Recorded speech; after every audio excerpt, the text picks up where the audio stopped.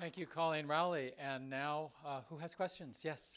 Yeah, I'm uh, Charlie Clark Government Executive. Uh, Mr. Can you talk about what steps Edward Snowden considered uh, in-house before he uh, went to the press? Yeah, his, uh, his coworkers attest to the fact that he complained, okay, not only to them, but to his superiors. He was told, forget about it, forget about it. Don't you like it here in Hawaii, six for? Come on, Ed, forget about it.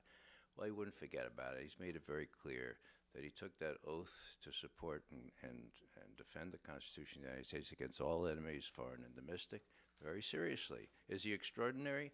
Unfortunately, he is very unusual. There are only one in maybe a hundred or a thousand that would do that. But you know what? Our government, the NSA, and others cannot do this work without these highly technical people. And if only one in a hundred or a thousand or ten thousand have a conscience and consider oaths sacred, then the governments are in trouble, and they know that. That's why they're going so fiercely against Ed Snowden. And, and you know, whistleblower protection, there's an ideal about how it should work if you have an inspector general. And since 1989 or so, the laws have embodied this ideal. And then, when in practice it doesn't work for different reasons. Um, if you have a wrongdoing that is just one level above you or two, and you know even serious wrongdoing, I have a, I had a whistleblower test that it has to be significant. You have to be motivated. That's one of the key things. There's a huge difference between a so called traitor and a whistleblower. The key is motivation. Uh, Robert Hanssen and the FBI, the spy, uh, Aldrich Ames and the CIA, were spies because they were absolutely selling the secrets in order to make themselves rich and to help an enemy country. Very different than when you're Frederick Whitehurst or Coleen Rowley or, or Daniel Ellsberg or, or Edward Snowden. Very different motivation. I'm, I'm really surprised people have not been able to grasp that. This Espionage Act is not applicable at all. Now, going through the proper channels should be an ideal. Um, unfortunately, since this has all started, some inspector generals who have tried, General Taguba, who tried to investigate the issue of torture, they are only at, you know, Taguba was a three star general. So if people were above him at a higher level where the orders were given, it's really impossible. Uh, professor Vladeck, I don't know if some of you know, he's a professor here at uh, George Washington Law School, I believe. And he's an expert on this stuff. And he was in a debate recently and he said, well, Snowden had no option. And he had no option because these orders and this post 9 11 uh, lawless um, war, law of war type following instead of rule of law, this all began and um, from the highest levels. And when it, it, the orders have come down from the highest levels, it's not going to help you to skip a level and expose wrongdoing. And that's, it's, it, we need to fix this. We need to have independent, like the church committee. That's the only way uh, that we can actually fix when high levels get involved in wrongdoing. We actually absolutely have to have an independent oversight. Well, yes, and, and Edward Snowden, of course, he did complain, um, just as Thomas Drake. I, I should mention Thomas Tamm. Thomas Tamm was the whistleblower about the warrantless monitoring in the Department of Justice. And he started sounding out people. Isn't, oh, I found this secret program where they're monitoring Americans. This was what led to the New York Times 2005 big, you know, bombshell about monitoring Americans. And he went to his, just as Edward Snowden did, he went to people that he thought would know, and eventually he reached somebody, his supervisor, he reached somebody in Congress, and they say, keep your mouth shut, it's probably unlawful. Now, when that's the case, when you know that this is the environment you're in, and you're told you better keep quiet because it's wrong, and, he, and usually the people that will tell you that will also sympathize and say, we all know it's wrong, but we all better go along with it. I've been I've seen this over and over and over now. It's not that people don't understand that are given the, these orders and that are part of it, but they don't know what to do. They don't know what to do. It, it takes an exceptional Edward Snowden or an exceptional Daniel Ellsberg to realize you're in this kind of a situation where there's very little option for you to act constructively to try to fix the, the real problems uh, in a larger sense. And Thomas Drake tried, and he got absolutely retaliated against because when you go public, then they have your number. Uh, going back to somebody asked me about Frederick Whitehurst, the FBI lab whistleblower. He's a perfect example, although it's old example. He tried hard to get the FBI lab fixed so that it was not skewing the results to help prosecutors. And he tried to get it accredited because every lab, every forensic lab in the country was accredited except for the FBI. And the FBI was not accredited because they said, oh, we're, we are beyond that, we're too good, we don't need to be. And he succeeded after seven years. But they absolutely destroyed Frederick Whitehurst in the meantime. Other questions? Yes. I know you talked a little bit about it, but could you explain why, now that the administration said they were wrong, like, could you explain why legally, um, Edward Snowden is still a traitor and not a whistleblower? I'll do it very short. It is completely incongruent to recognize the merits of a highly illegal, unethical system, which actually has been recognized to some extent. Even the directors have said we should have shared this with the public. Okay, we should never have kept this secret, and if we had, maybe maybe people would have understood. That's also not true too, because total information awareness was shared. Uh, Poindexter went public in about 2004, sharing that this collected all was going to happen. The Congress was against total information awareness. The people were completely against it, even though that was right, that was closer to after 9 11. And so they knew that they couldn't share this with the public and it had to be secret. They've now admitted that the debate is good. It's extremely incongruent to be fixing what you what's wrong or at least what you're forced to fix publicly and know that this this doesn't work. You know, we're at 17 trillion dollars of debt and we're going to be spending more money on massive collection. I mean, they, they know, the people in there know it doesn't work. They're fixing it. But it's incongruent to say that the person who made this possible, whose disclosures now in a public awareness and congressional awareness, uh, is somehow to blame and is, is a problem. That's completely, the, these things, if, you know, again, think it's, it's uh, patriotic. This doesn't make sense at all. Yes. I, I understand, so you're gonna be putting, giving petitions at the State Department tomorrow, I assume that's for, uh, giving back Snowden his passport, can you talk about the legal, um, impetus for that? Yes, let me direct uh, everybody's attention to the two piles of petitions there. They add up to 100,000 signers. Uh, the one on your right is uh, to Secretary of State Kerry. We're going to be presenting uh, the petition at the State Department building in Foggy Bottom tomorrow morning.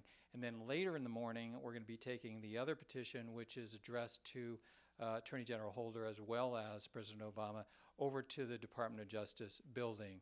And then, as I said, at 11 a.m., we'll be doing a briefing on the Constitution Avenue side of the Department of Justice building. So that's 11 a.m. tomorrow morning. In terms of the passport, uh, as you may remember, it was almost exactly nine months ago uh, when um, the last uh, stretch of time, it's a little murky on exactly when the uh, passport was revoked, but late June, as uh, uh, Snowden was exiting Hong Kong. And we hear this calumny that somehow uh, he ran to Russia. Uh, but it's a reflection, and actually, in the uh, pass out of the top sheet of these petitions that you have, I think one of the uh, many thousands of eloquent signer comments alludes to this. Um, this was uh, the, the last place that, as things worked out, uh, was safe uh, for Edward Snowden to be, and that was Russia. And so the US government was directly complicit and responsible by uh, confiscating and revoking Edward Snowden's passport for having him be stuck in the airport in Moscow and be uh, left with no other option. Now, it is true, to be fair, uh, that uh, Snowden uh, did have another option. He could have come back to the United States and gotten the kind of treatment that Private Manning got, which was, according to one UN report, uh, borderline, if not over the border of torture. Uh, and how much did you hear from uh, Private Manning, uh, now Chelsea Manning, then uh, Bradley Manning, during and after his uh, arrest and throughout his captivity? This is an effort to silence through revocation of the passport, through forcing down an airliner of the head of a sovereign government in Latin America, as you may remember last summer. The Attorney General of the United States and the President of the United States are clearly today, just as they were nine months ago, hell bent on flipping over every rock and pulling out all stops to apprehend, if uh, necessary by their lights, apparently even abduct Edward Snowden. And one of these petitions directly addresses that question. So the revocation of the passport and this continuing stance from uh, the Obama White House, uh, particularly ironic now during the news of the last day, um, that uh, approach to Edward Snowden continues unabated and it continues to be reprehensible. Uh, yes. According to Ray, you, you mentioned something about the CIA investigating Obama and Obama's uh, being upset by this. I forget exactly how you put it, but I wonder if you, if you want to comment about the what I've uncovered that Obama and his mother both had ex- extensive uh, connections to, to the CIA in, in the 70s and 80s. I mean, their association with CIA fronts was repeated. His mother worked for five different CIA fronts. Can that be a coincidence? So I wonder if, if you have any thought about that. I haven't thought very much about it, Bill, uh, and thanks for raising that. Those are interesting factoids. Now, when I look at the CIA and Obama, uh, I ask myself first and foremost, how could a person who uh, railed against torture and all the other abuses of the Bush administration, how could he let them all walk free? Was he afraid of them? Well, it's been, become increasingly clear that, that he was and that he is. Why did he let James Clapper, who lied on the 12th of March last year and said, no, the NSA is not collecting any data on Americans? He's still the director of national intelligence. You know, it's really hard for me to believe that, but he is. Michael, uh, the, uh, General Alexander has been allowed to retire. So um, I, the evidence is fairly clear to me that Obama bit off more than he could chew, and that if he was going to be this afraid, if he goes, was going to be this afraid of the CIA and the NSA, he really shouldn't have run for president because it takes guts to stand up to these folks. It's been a long time since presidents have, and what you see now is protect is explicitly what the New York Times has said: a runaway intelligence organization, responsive to no one, and that's a clear and present danger here. We're going to go through some last questions, and then I'll remind you, we, we have the room after the news conference. If you want to do one-on-one interviews, you're certainly invited. Other questions? Yes. Yes, uh, Mr. McGovern, I got a couple more questions. You're uh, s- Cliff Kincaid, Accuracy in Media. I'm sorry. My name is Cliff Kincaid with Accuracy Media. Right, Cliff. Your uh, statements were Obama is scared of these folks. Mm-hmm. I think he's afraid of what might happen. Mm-hmm. Now, in the same room, uh, a couple months ago, somebody named Russ Tice, who was introduced as a former NSA analyst Mhm. and, and now whistleblower, Right. uh, said that uh, in 2004 he had held in his hand NSA documents uh, indicating uh, NSA surveillance of Barack Obama and his wife. That uh, they had his phone numbers and other uh, materials. Mm-hmm. Uh, do you believe that story? And if that's true, why were they monitoring Obama? What is Obama afraid of coming out? Well, uh, you've heard Ed Snowden say that if he had the president's email address, he could easily hack into it. Okay, that's enough for me. He's he's re- reiterated that, and uh, he, we don't need Russ Tice to tell us that uh, the president himself, from him on down, they're vulnerable to this bulk collection. And you know why the president doesn't have the guts to stand up and say, "No, that's too far. That's you, you shouldn't lie to, to Congress. You shouldn't lie uh, in general." And you know, you, uh, Brennan, if you did what what uh, Dianne Feinstein says you did, you're out of there. Why? Why does he? Well, I'll tell you a little vignette. Before the last election, the president of the United States was having dinner with a group of progressives. Okay, 12, 13 progressives and they're be- beating up on him, saying, you know, you're supposed to be progressive. How can you let all this happen? And you know what he said? He ran out of patience. He stood up and he said, Don't you remember what happened to Dr. King?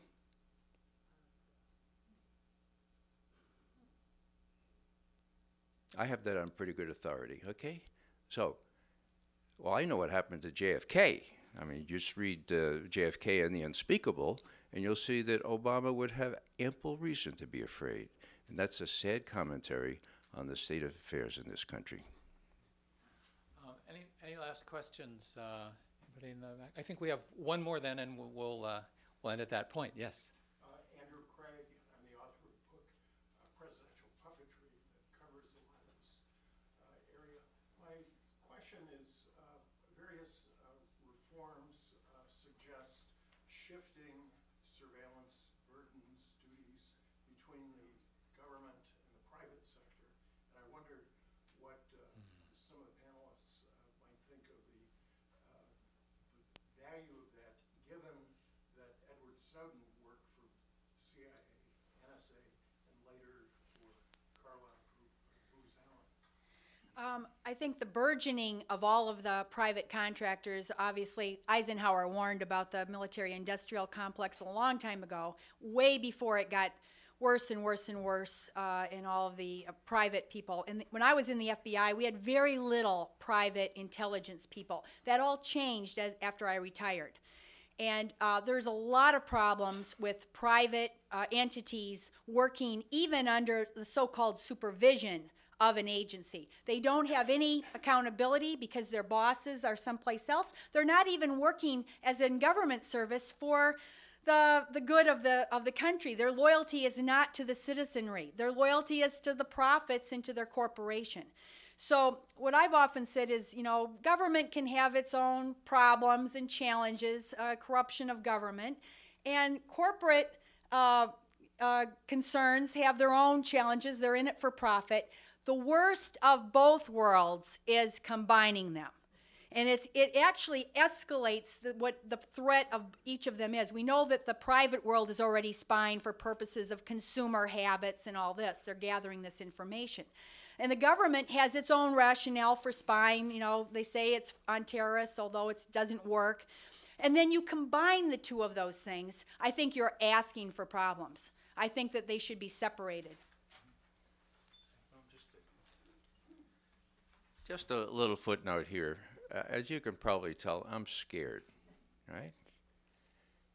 Uh, I was born before World War II, and I grew up with all the tales of what happened with fascism. Now, I've been told, don't use the F word, McGovern. Don't use the. They usually mean the four letter F word. But I've also been warned not to use fascism because people identify that with the Holocaust, and then I'll be called anti Semitic. Fascism and the Holocaust are separate and distinct things, okay? Now, when you get, as Eisenhower said, the government and the industrial complex, which now takes the form of multinational corporations, which also control the media. Let's face it, folks. Let's see what kind of coverage we get tonight. Okay? The media, parts of the Congress, which is now shown to be true, even parts of the judiciary, these 15 bogus judges that approved 36,000 FISA requests and turned out 11. When you get them all entangled here, you have something very much approaching what Benito Mussolini defined as fascism do not blanch before the word.